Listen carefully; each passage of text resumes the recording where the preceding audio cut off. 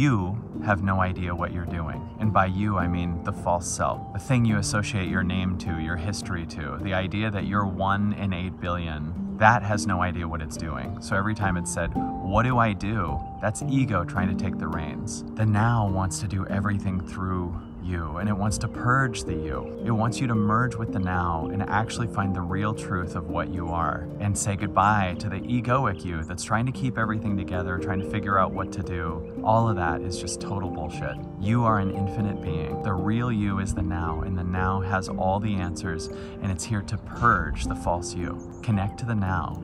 Be with the now. It's got everything. Just know that everything else is passing and it's taking care of everything and you are on your way to true freedom.